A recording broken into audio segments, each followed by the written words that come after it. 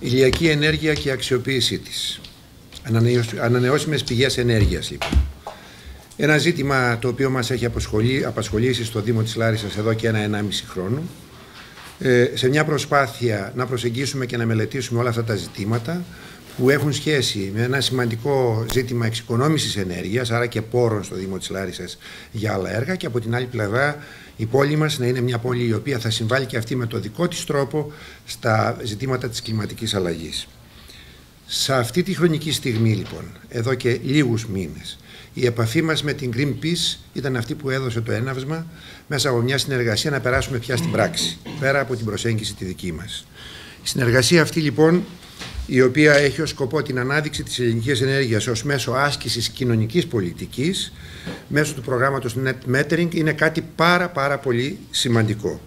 Πρόκειται δηλαδή για μια ενέργεια η οποία έχει εντελώ ξεχωριστές προοπτικές με την υπογραφή του πρωτοκόλου συνεργασίας με την Greenpeace και δείχνει δύο πράγματα. Την αποφασιστικότητα του Δήμου μας να προχωρήσει στην αξιοποίηση της ελληνικής ενέργειας και να έχει όλα εκείνα τα βέλτιστα αποτελέσματα και θετικές επιδράσεις που έχουμε από την, που είναι δεδομένο πια ότι υπάρχουν από την ε, αξιοποίηση αυτή και βεβαίως τη συνεργασία μας με έναν φορέα που χρόνια ολόκληρα φωνάζει για αυτά τα ζητήματα στη χώρα και που θέλουμε πέρα από την πρωτοβουλία τη σημαντική που αναλαμβάνει στη Λάρισα με τη συνεργασία να ενώσουμε τις φωνές μας για να ολοκληρώσουμε όσο γίνεται καλύτερα όλο το θεσμικό πλαίσιο που υπάρχει για την μεγαλύτερη αξιοποίηση και τις δυνατότητες που μας δίνει η ηλιακή ενέργεια στη χώρα μας.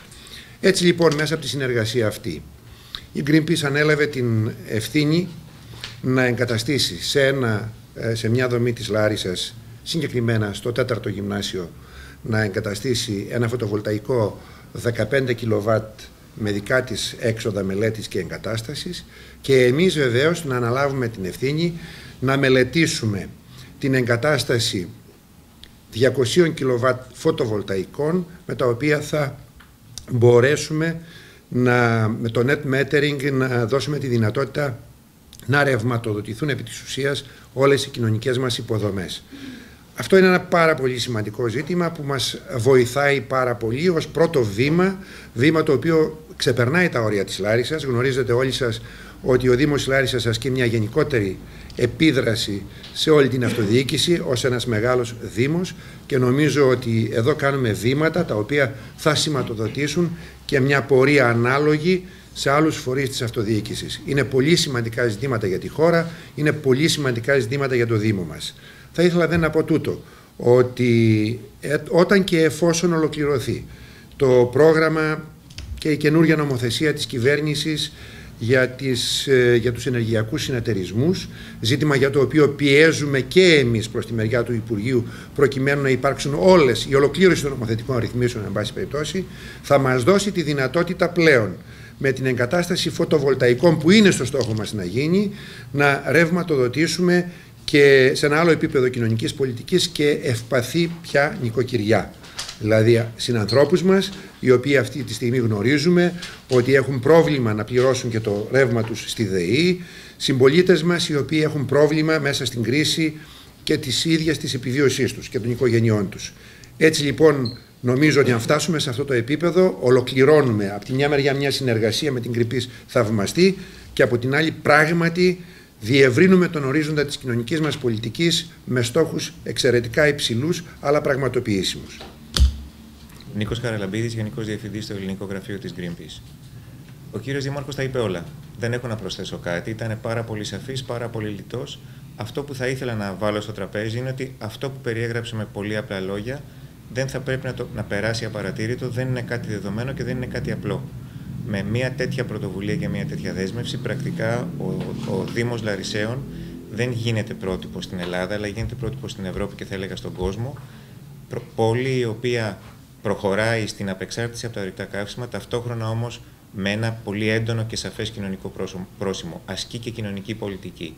Ε, αν μάλιστα δείτε το ευρύτερο πλαίσιο μες στο οποίο παίρνετε αυτή η πρωτοβουλία, αναλαμβάνετε αυτή η πρωτοβουλία, αναφέρομαι στη συνθήκη των Παρισίων, αναφέρομαι στο, στο γεγονός ότι μέσα στα επόμενα 30 χρόνια οι κοινωνίες μας θα απεξαρτηθούν από τα, από τα ορυκτά καύσιμα.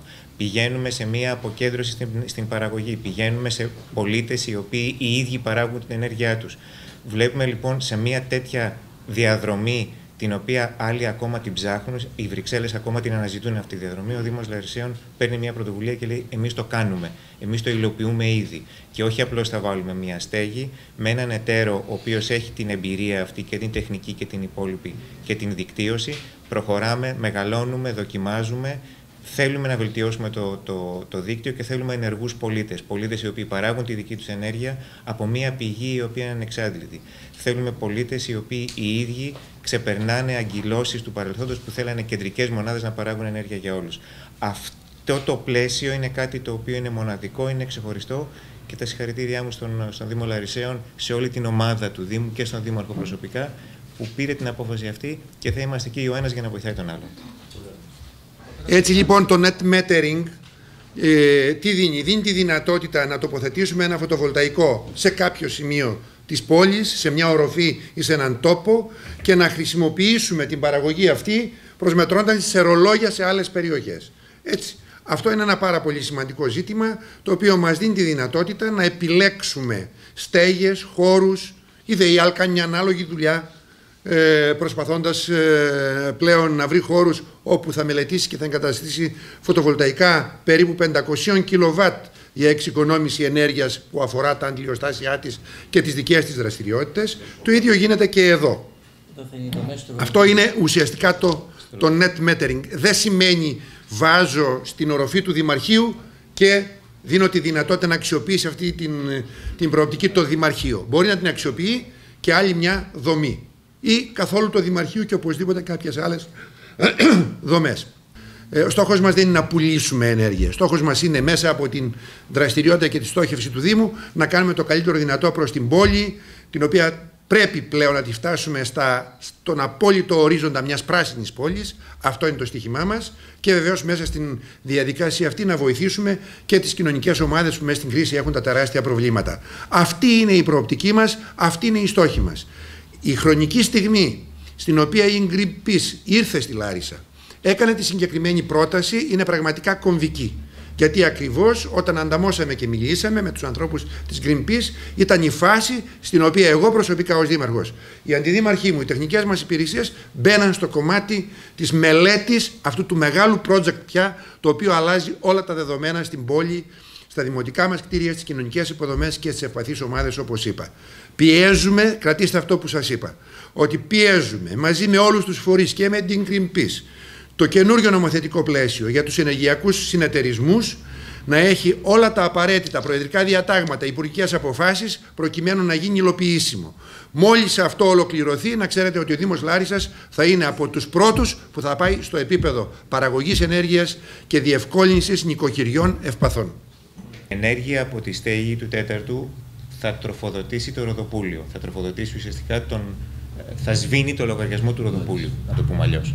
Ε, όσον αφορά το έργο των 200 κιλοβάτ, αυτό θα μπορούσε να σβήσει το λογαριασμό περίπου 80 νοικοκυριών.